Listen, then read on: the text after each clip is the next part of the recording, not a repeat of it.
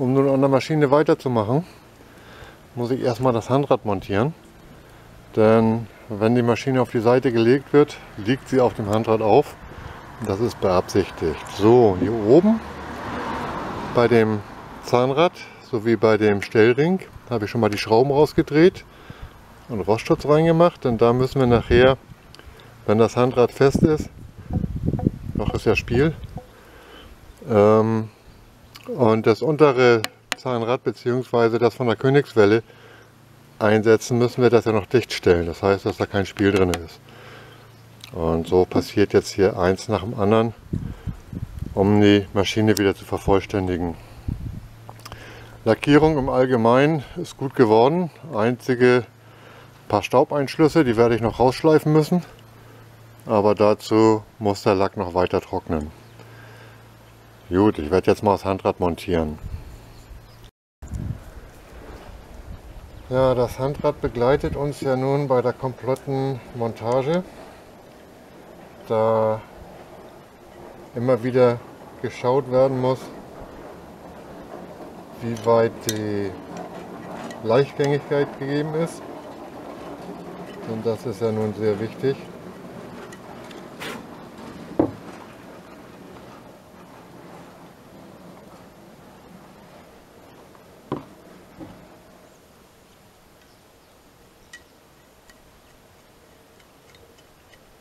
Wollen wir mal schauen, wo hier der Spitzkegel ist.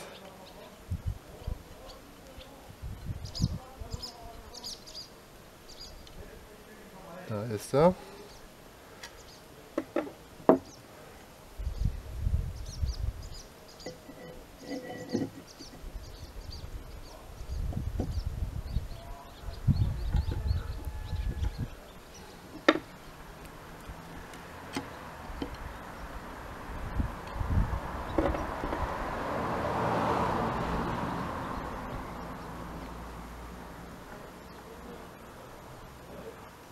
So. Wo haben wir jetzt das Problem?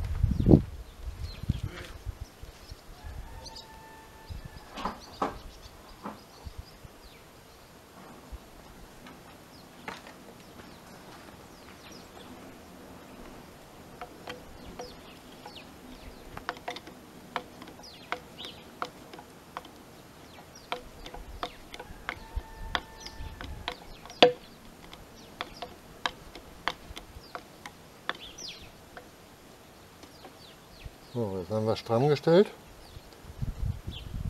Müssen wir wieder etwas lockern.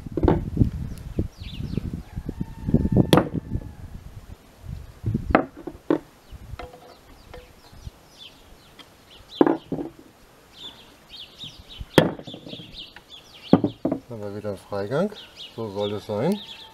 Kein Spiel mehr.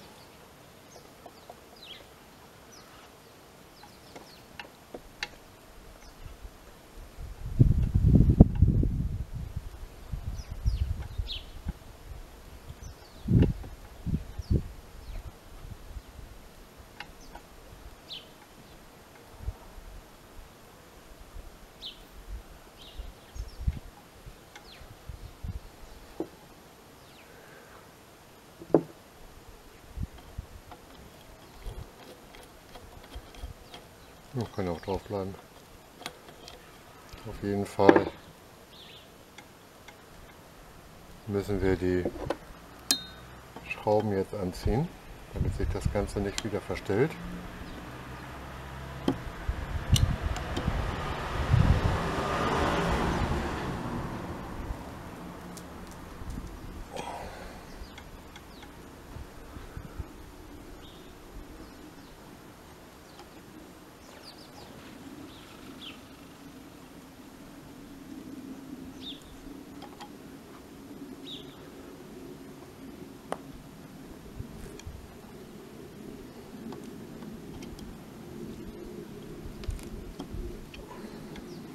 So.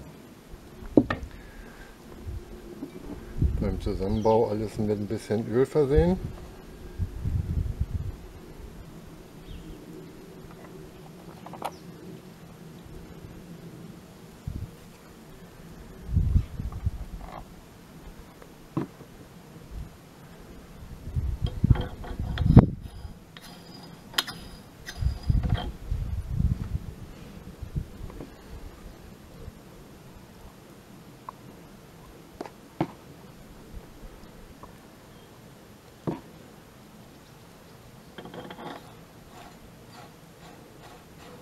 Gut. Dann kommt die Feder. Die Sicherung. Und die Schraube der Sicherung.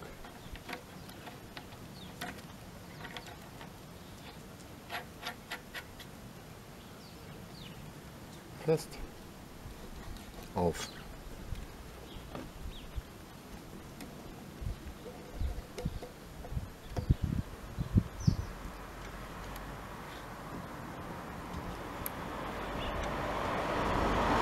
Wunderbar.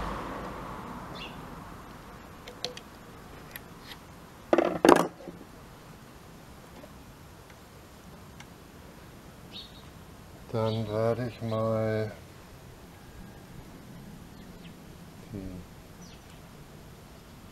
die Filze, also das Filz, welches hier reinkommt und hier reinkommt, nachmachen. Für die Lagerstellen habe ich erstmal einen neuen Filz ausgeschlagen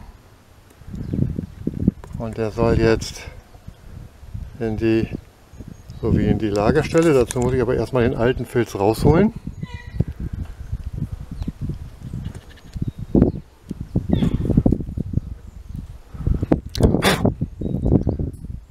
So, da kommen die beiden Filzstücke rein und dann wird geölt.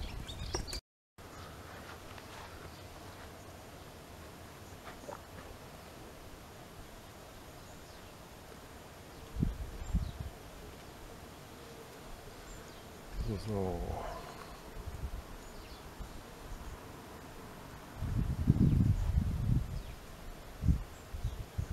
Reichlich Öl drauf, damit sich das auch gleich vollsaugen kann.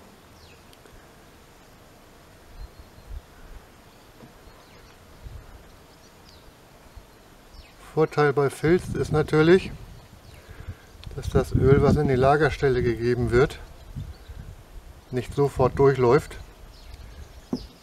sondern durch den Filz sich nach und nach in der Lagerstelle verteilt. Ich bin der Meinung, das ist besser, als wenn man das einmal doll ölt und das Öl sich mehr oder weniger durchläuft.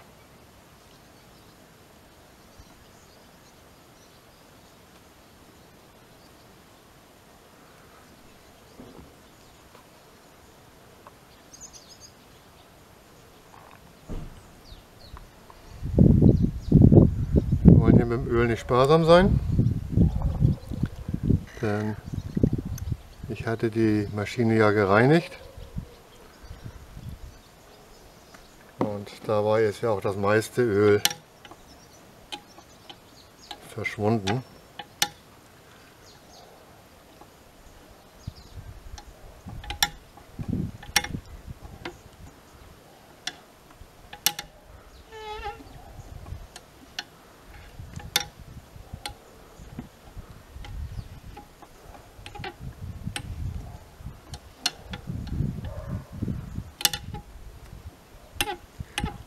So wie es anhört, ist der Fadenhebermechanismus noch schwergängig.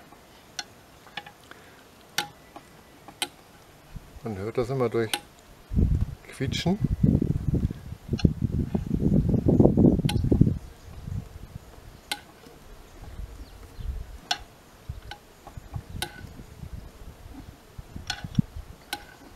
Obwohl,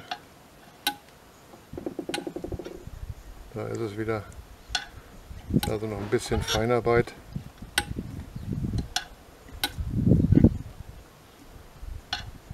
nötig, damit das aufhört. Das mag ich nicht.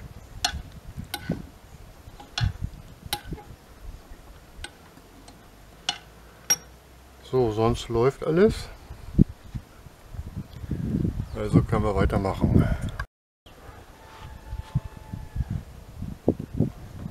Ja, die ersten Teile werden wieder eingesetzt. Unter anderem die Welle für die Nadeltransport.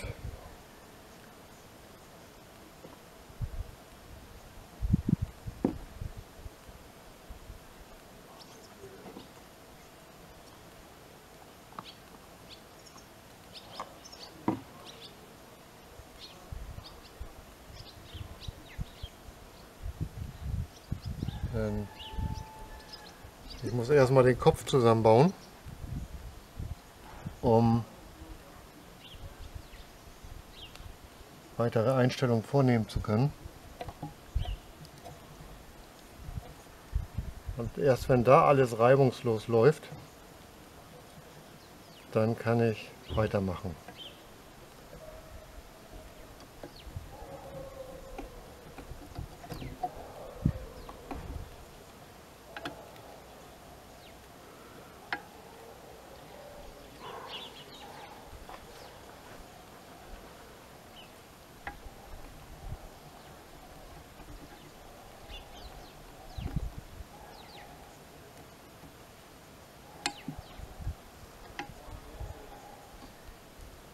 Habe ich da hinten noch Papier drin in der Welle? Ja, natürlich.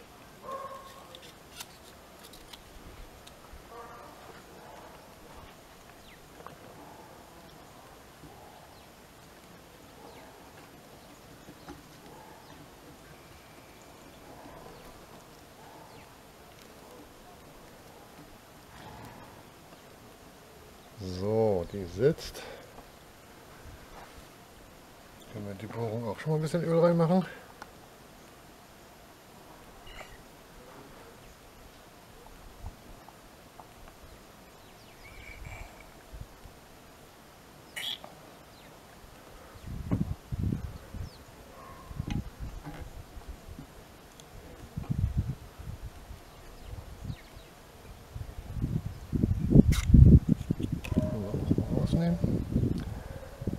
werde ich mal den Gleitstein holen.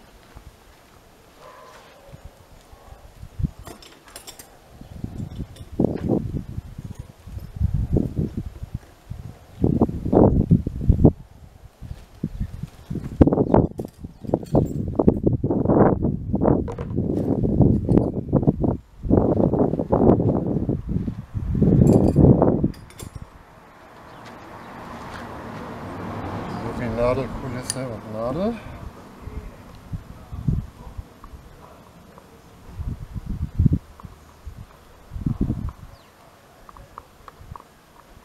Gleitstein kommt so rein, dass wir die Ölbohrung oben haben. Der wird auf die Welle aufgesteckt, die die Nadel transportiert bzw. den Nadeltransport steuert. So, die Nadelkulisse.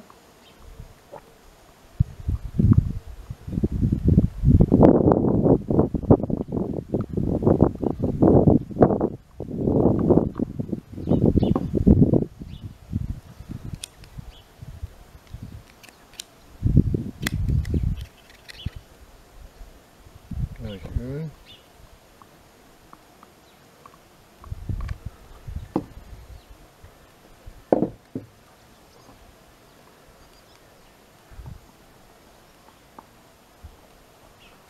Dasselbe mit der Nadelstange.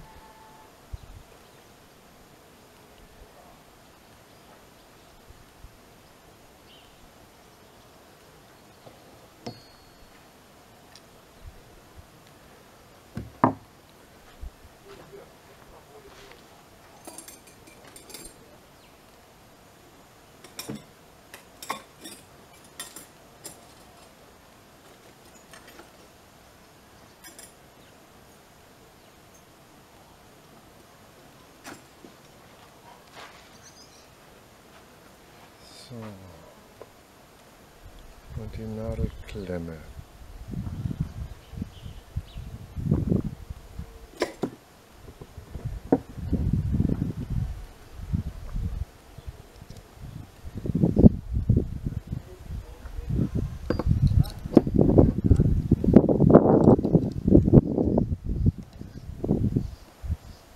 Dann haben wir das schon mal wieder zusammen.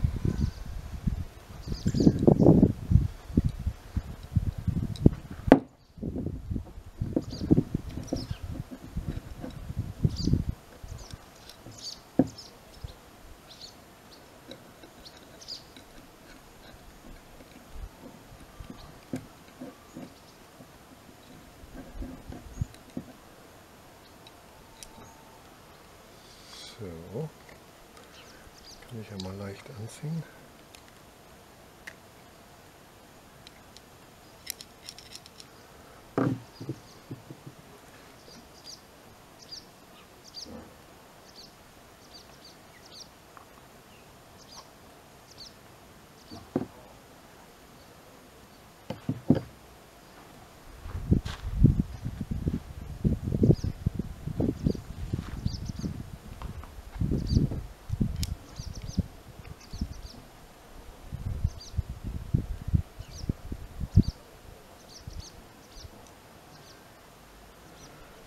So, mal gucken, ob wir die wieder reingesetzt kriegen, jetzt so ohne Probleme. Also ohne Probleme geht eigentlich gar nichts.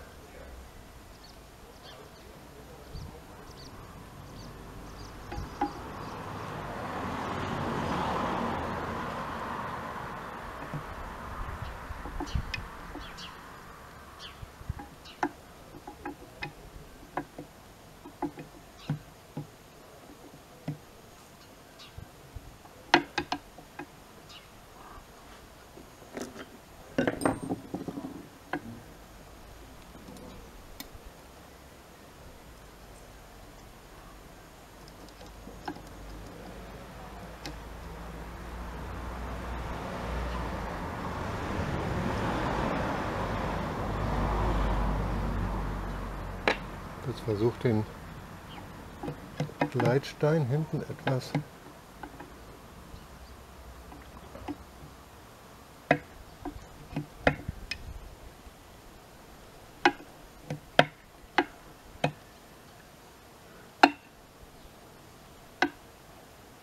muss noch ein Stückchen weiter rüber.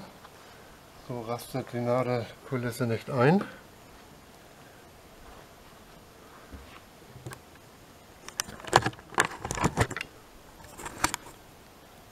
Da hinten, ich weiß nicht, ob man es sehen kann, da ist der Gleitstein und der muss in die Nadelkulisse einrasten. Oben sitzt er bereits, in der Nadelführung sitzt er auch. Also schauen wir mal, dass wir das hinkriegen. So sitzt es drinne.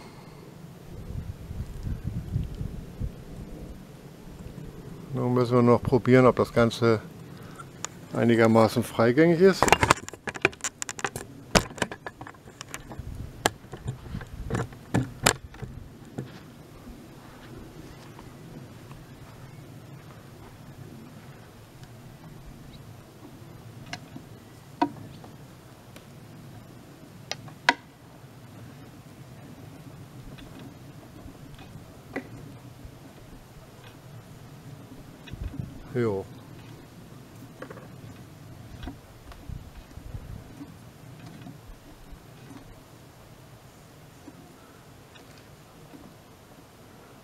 bisschen Sorgen macht mir hier einfach noch der Fadenheber.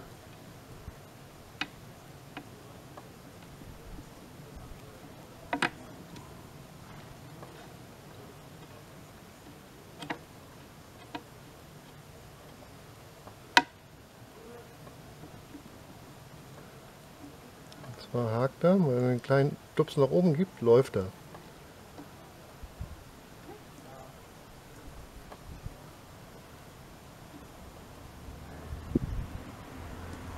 Eigentlich nicht das,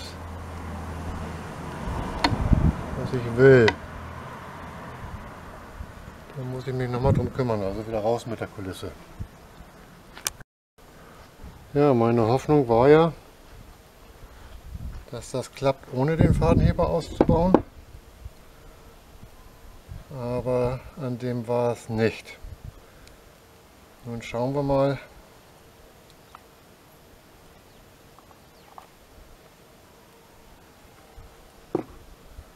wie das mit dem anderen läuft.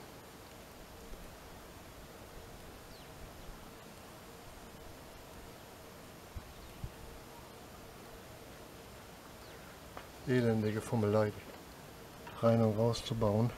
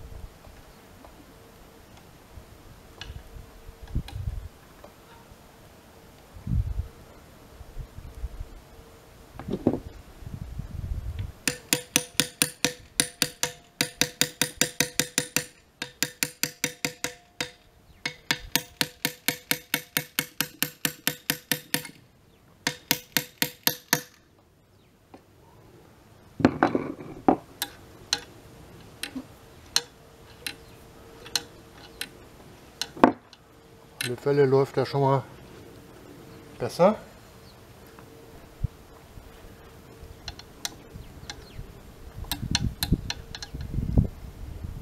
Wir noch ein bisschen Freigang wieder.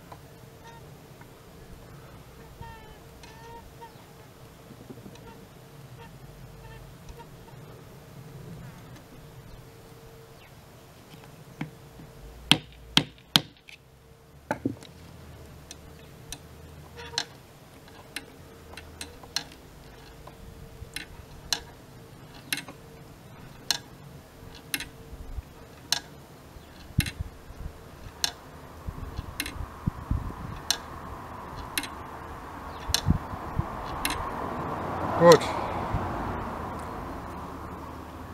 Also nochmal die Nadelkulisse einzusetzen, um uns dann anzuhören, wie sich, oder um zu sehen, wie sich dann anhört.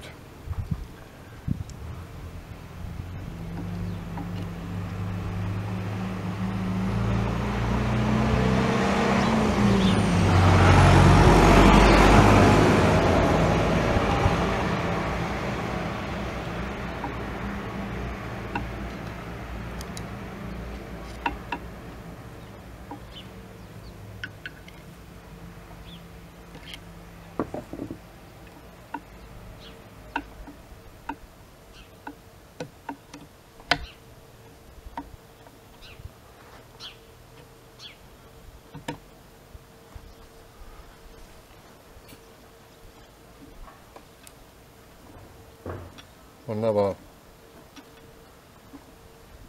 So lassen wir es. Alles wird gut.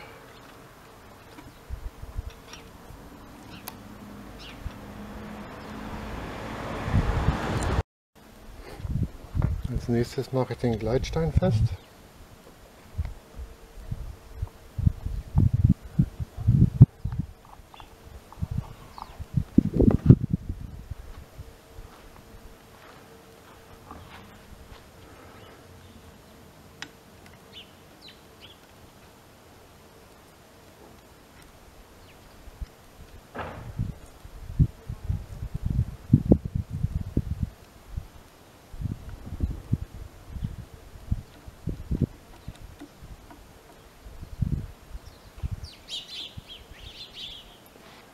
Haben wir schon mal die Nadelkulisse gesichert.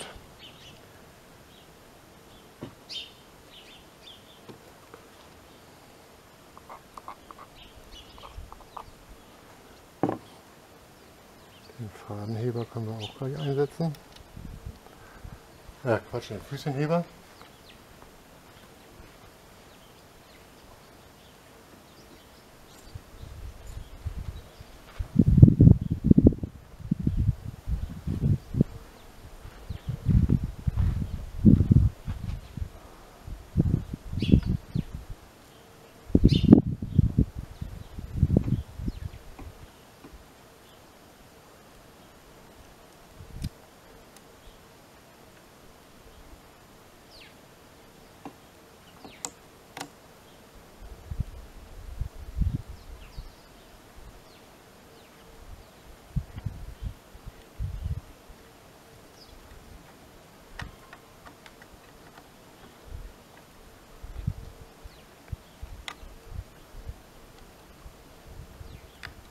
Ne? Der Schraubendreher ist zu groß.